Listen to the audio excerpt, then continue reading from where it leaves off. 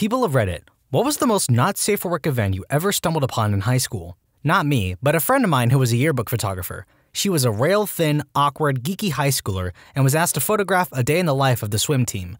Our school had the football fever, and so other sports were always trying to get more than a few mentions in the yearbook packed with dozens of football shots.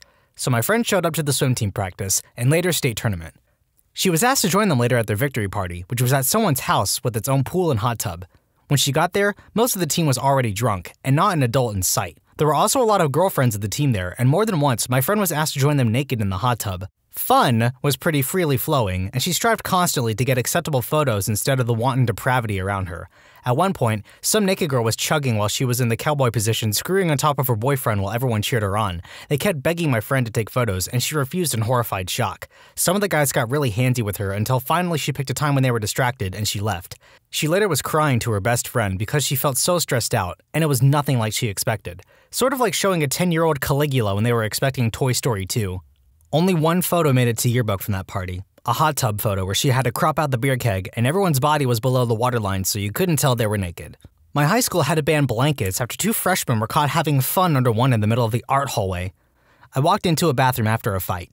Broken mirror, blood smeared on the wall and floor, water everywhere, probably unrelated to the fight, and a lot of bloody tissues in the sink. Oh, and there was a turd in the urinal. I hope that was unrelated to the fight. Someone got the crap kicked out of him. A freshman got pleasured by his girlfriend under the table in the cafeteria during lunch. Someone sitting near them noticed what was happening, took a video, and posted it online. The administration quickly found out, the video was taken down, and all three involved were suspended.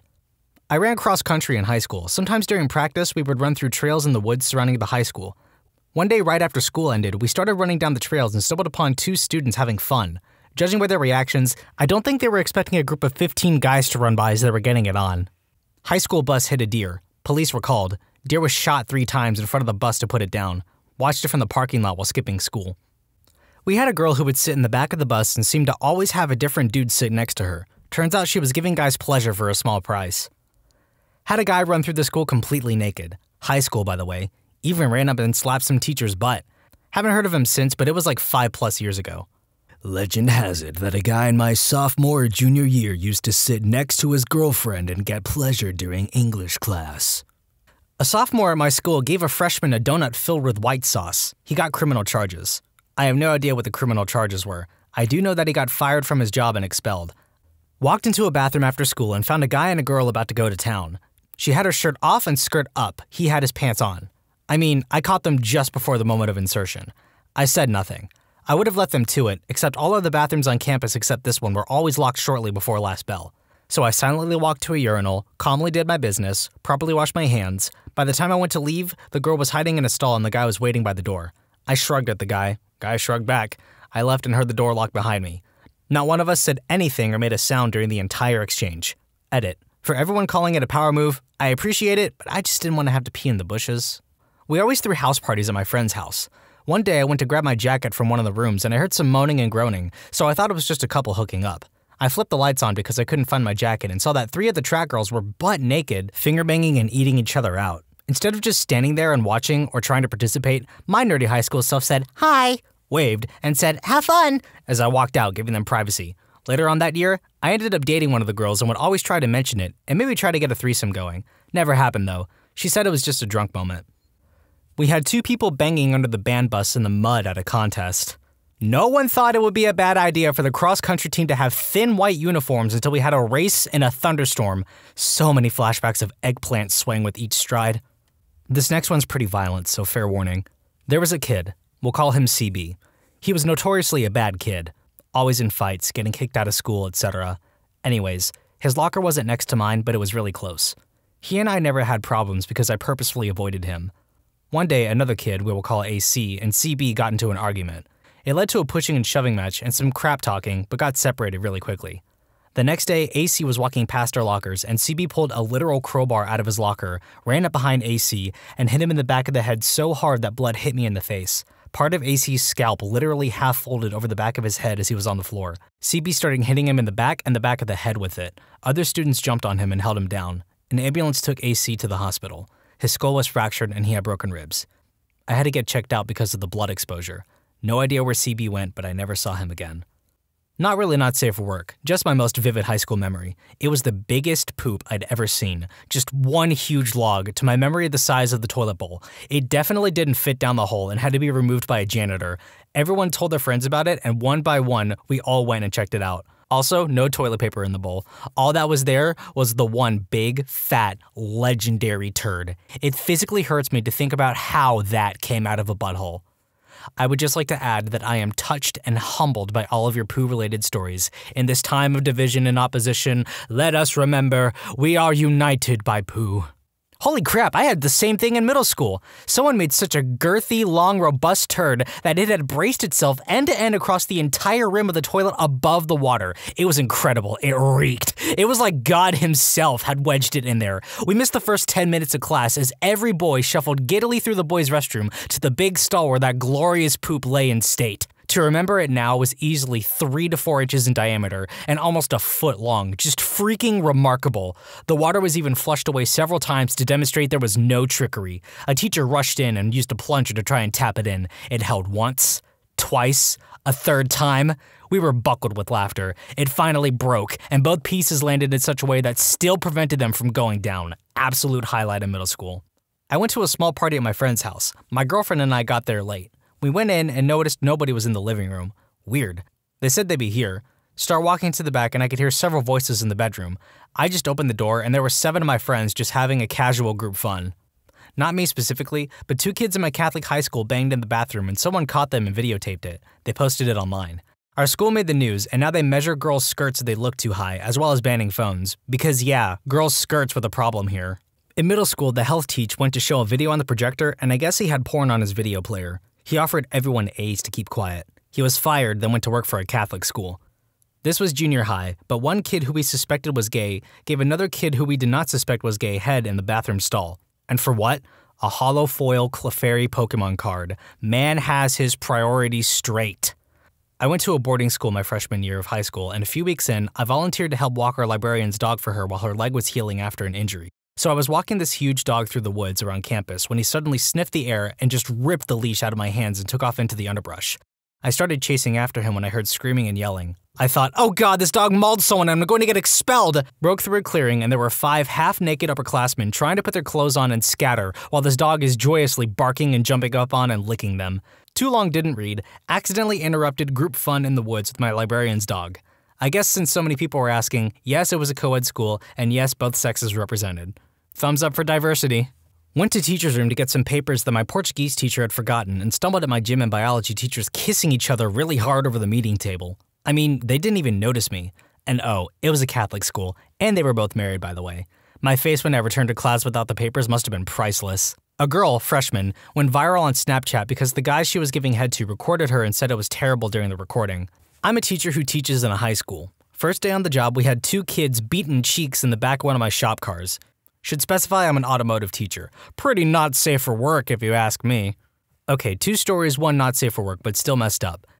Janitor in elementary school died while mopping the floor, and somehow this didn't get around the entire school, and my entire class saw them taking his covered up body out the front door. Another was walking in on several people giving head in the band room. It became a daily thing, and I should have known to also knock on the practice room doors before entering. We had many PCs in our school, and every computer room had a projector. So once when the teacher was ill and no replacement came, we were in that room. Someone started the projector and quickly found out that every porn site he tried is blacklisted, but playing from USB apparently works fine. We later found out not only are the connections whitelisted, but also fully monitored. Not long after the movie show with sound and everything started, the IT tech guy comes with a substitute teacher. That internet search history was apparently enough for them to suddenly have a substitute teacher for us. Was walking around outside my high school and saw a dude leaning up against a wall getting head. They didn't see me, so I quietly turned around and walked away. Girl gave head to a guy and his friends filmed it. It was the talk of the school and she changed schools. Two years later, she came back and gave head to a different guy by the same dumpster. No one filmed it this time. Some kid at a party got blackout wasted and crapped himself. In the middle of the crowd, he took his pants down and slipped in it, proceeded to army crawl to try and make it out, but just smeared it everywhere. He is still known as the party pooper. Godspeed, party pooper. In band before a football game, I walk into the percussion room to hang with the homies. Everyone is huddled around this dude in the corner of the room laughing, so of course I walk over to check it out. Turns out the dude was showing everyone how tiny his eggplant is, and everyone was so fascinated. Yeah, it was really, really small, like from the tip of your pinky to the first knuckle down. I've never seen anything like it.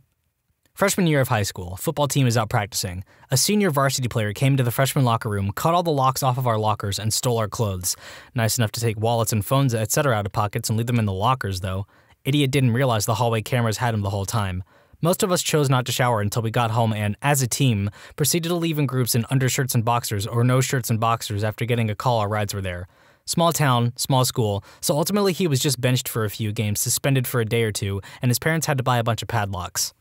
In middle school, some kids walked in and started having fun in the stall next to me while I was pooping. Eventually, they smelt my presence.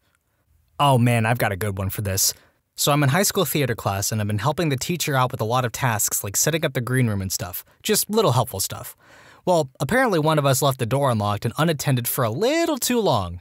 In our green room were two big blue couches that were the most uncomfortable things I had ever sat on. Teacher comes running into the room from the hall and says, Hey, I think someone is in the green room. Go with me so I can have a witness. Thinking nothing of it, I go. We stand by the door, and someone is most definitely in there making some pretty unusual sounds. I realize what the sound is a half second before the teacher throws the door open to two kids from my class getting down on that couch. I only had like two seconds of view time before the teacher screams, Good golly, Miss Molly! and slams the door. I sat outside that door crying from laughing for about 20 minutes before they knocked on the door to be let out, realizing we had the stage completely locked down. The look on their faces when the principal let them out and led them to his office will forever be in my mind. Can you imagine? Knee deep, about to blow, and from over your shoulder, Good golly, Miss Molly! I dream of it sometimes and still wake up laughing. Not me, but a few freshmen encountered sophomores having fun on a hill my school had for cross country and I think football. And then someone marked that hill on Google Maps. What happens in the locker room should stay in the locker room. With that said, I once walked in on a kid shoving a crucifix up his butt on a dare from his friends. Catholic school, eh? The janitor didn't cordon off the area when someone spilled a large half gallon of milk. One student ran into the cafeteria, slipped, and busted his butt. The janitor was suspended for one day. A bunch of guys from the athletics class got mad at a kid for mine for cheating during dodgeball, so they walked into the locker room butt naked and whipped him with towels. I just walk in and see someone's dong flipping around like a corrupted body part in a PS1 game before he leaps off the bench and goes ape on the guy. I nope the heck out and waited in the hallway with everyone else. Before anyone asks why didn't I or anyone else help, the coaches were nowhere to be found and we were scrawny freshmen against football and wrestling players in good shape. The guy eventually comes out drenched in sweat, calls us jerks, then kicked on one of our backpacks. Two people were caught having fun behind the curtain on the gym stage by the Master of Custodial Arts, or janitor if you want to be a jerk about it. He said hi to both and walked out. Dave was cool. A junior boy filmed two sophomore girls having fun, and of course, he made copies and passed them around. One copy landed in the dean's hands, and she called both girls and their parents in and freaking watched it. Yeah, because that's not gonna traumatize anybody. A guy hanging from the theater rafters by one arm. Like, by choice? What's the not safe for work part? Naked and covered with mashed potatoes? In 11th grade English, the desks were in a U shape, so some students were facing each other from across the room. This is important later on. So I had a few girls in my class I thought were attractive, and there was this one girl who was a cheerleader. She sat directly across from me so I could see her face rather than the back of her head. So, anyways, because I was able to see her face, I was also able to see the rest of the front of her body.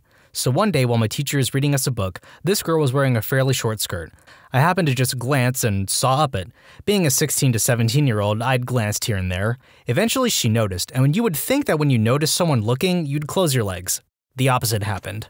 I'd been wearing athletic shorts as it was a hot April day, so this girl is spreading her legs whilst wearing a short skirt and a thong. She kept looking at me and kept spreading until she couldn't spread much further. I obviously had a tent, and I'm almost certain she must have seen, because she was biting her lip, and I swear to God, I could have sworn she'd moved her thong over just enough to show herself slightly.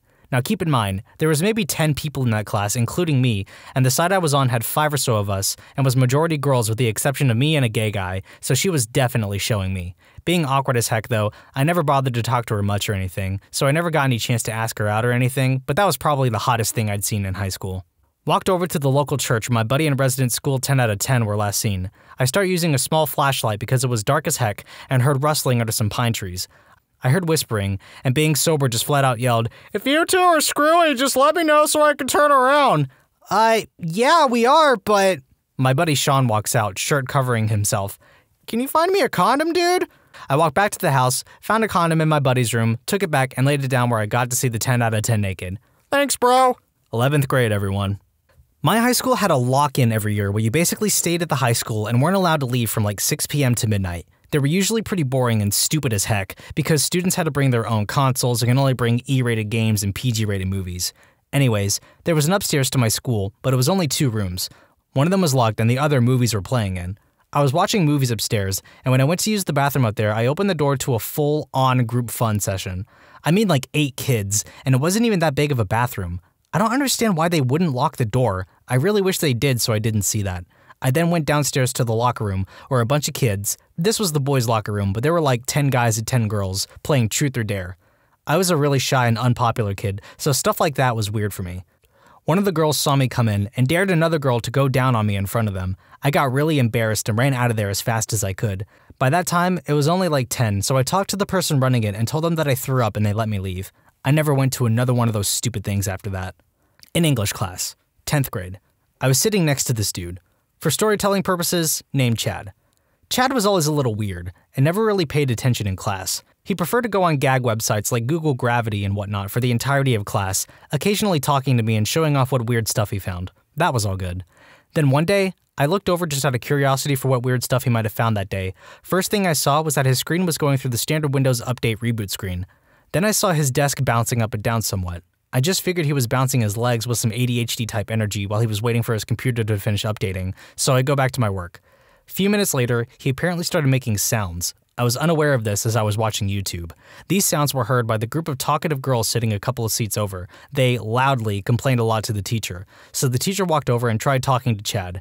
When Chad saw the teacher walking over, he went into panic mode and tried to stealthily hide what he was doing. Naturally, he failed spectacularly and sent his desk forward and actually helped it fall on accident when he tried to save it. So Chad was sitting in his seat, one hand trying to pull his desk back up while the other was desperately grasping the zipper region of his pants.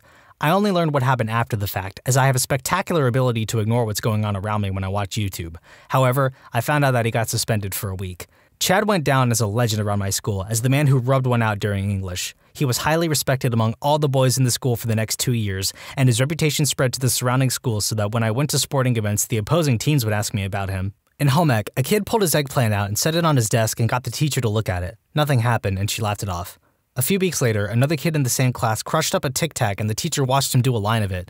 She called the police, had drug dogs come in, and had the kid suspended for a week or two. Same teacher made us read aloud what we were reading in study hall once. Bad idea. It was a bunch of tips on how to give head from 17 magazine, or a similar magazine. Each one of us had to take a turn reading one, each person yelling the tip to all who could hear. Freshman year, our chemistry teacher taught us how to make gunpowder. We were supposed to light it all in the flame hood, made a huge batch, put it in a two liter bottle, and blew it up outside. Ironically, cops weren't called for that one. Drew a bunch of eggplants on rival team school buses during a basketball tournament. It was orchestrated so no one could tell who did it. Police got called in. It's a small town with three officers. Two stayed inside with the kids, one had to scrub the eggplants off the buses. Result a bunch of kids had to wait in the gym for a few hours, and we got interrogated. No one confessed, so nothing happened there. Not really not safe for work, but those and a few unmentionable events got us out of senior year a week early. The administration waited until a Friday and told us we were done with high school and to not come back until graduation. That was kinda cool, but we didn't get to have prank week. This was before cell phones had passwords. Found a phone, looked at the picture to see who it was, saw a video of a girl spreading peanut butter on her genitals and having her dog lick it up. This didn't happen to me specifically, but it happened in the class that I happened to be in. I was in my theater class and we were practicing a play that we were going to do during one of the periods of school. 15 of us were on the stage with the theater teacher working on our part. The 15 of us were robots that worked together as a machine, and the other four went with the student teacher because they were the humans of the play. They went to one of the lecture halls, and the student teacher flipped on the lights, and they caught two people making out in the area, and the girl was giving the guy pleasure. Needless to say, the two got out of there real quick with the guy zipping himself up. Went to a private all boys school. My senior year, I walked into the band practice hall on a Saturday afternoon to find two guys going at it. One was elbow deep in the other's butt, and that's how I found out what fisting is. I didn't report them, but I did call the other one Kermit for the rest of the year. We once had to work with iPads, and when I turned mine on, the background image was a furry, and when I went to the internet browser, it was on Hentai Haven. Of course, I quickly backed out of the site before anyone could see it. I must say, the Chad who looked up porn on a school iPad had some cojones on him. I think one of the most I've ever laughed in school was when someone managed to connect to the projector in the assembly hall and play Shrek is Love, Shrek is Life, followed by Ram Ranch. I had my goon sneak into school to take down all the bells as a prank. He didn't know the difference between fire bells and class bells and took down both. That made the work environment not safe, and is why the police were called. I don't know which one is the most not safe for work experience, but each one has their own merit. What kind of schools y'all go to?